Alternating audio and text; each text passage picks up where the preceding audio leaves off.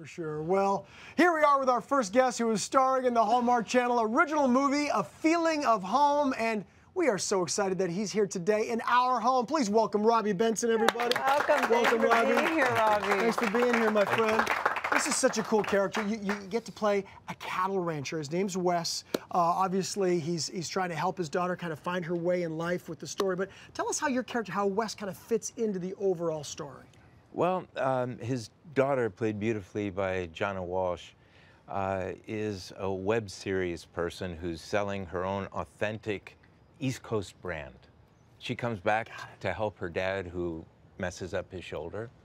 Um, and uh, it's my job to try to, in, at least this is the way I think of it. It's my job to put her together with the ranch manager who she used to go out with. I played again beautifully by Nathan Parsons. So cattle rancher slash matchmaker. Right. In my mind, yes. Exactly, Trying to help exactly. my daughter. Good Yeah. stuff. Well, we have a clip where Wes and his daughter are beginning to reconnect because she's been away for a little while. Right. Let's take a look. Okay.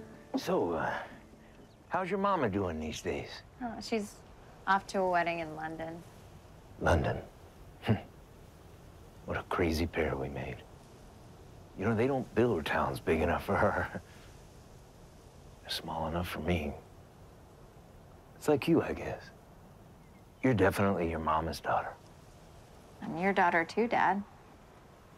I miss you. I Just been so busy with my new web series. You got your own life. I get that. Yeah. Have you seen my show? I, I look in on it. I saw one. It was entirely on blenders. I'll tell you one thing. You don't do anything halfway.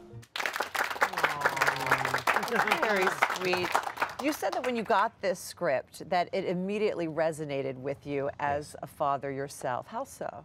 Well, you know, the one thing uh, you, you grow up and and you have children, and it's you know all I ever wanted to do is be a great husband and a great father, and and you realize as as your children are getting older that sometimes no matter how good your intentions are, sometimes the communications don't work as well as they sure. should. Yeah.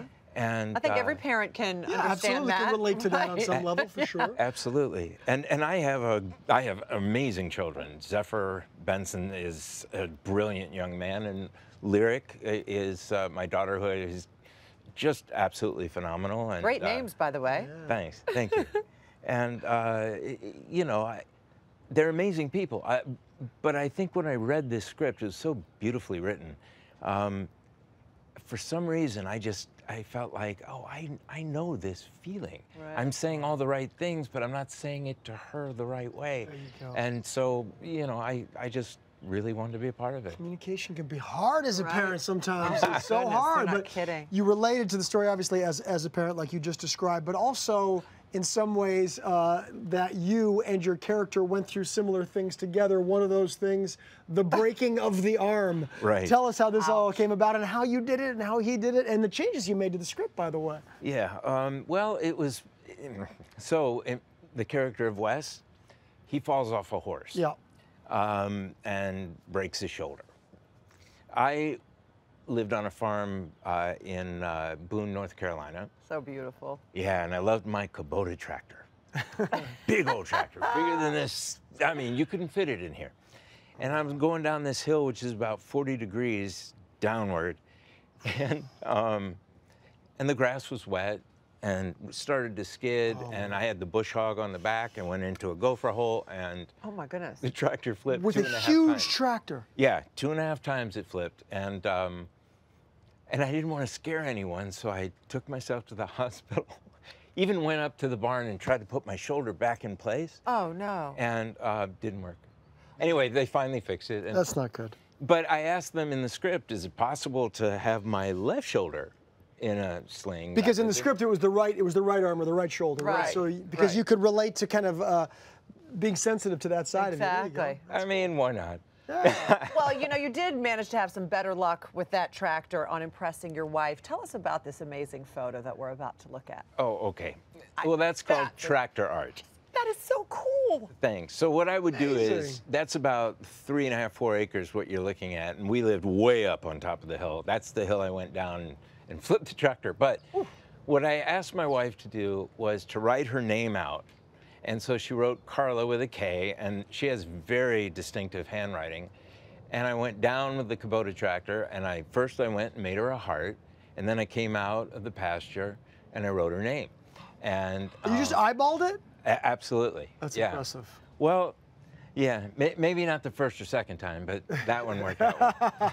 well, well before your tractor art, you impressed your beautiful wife of so many years now.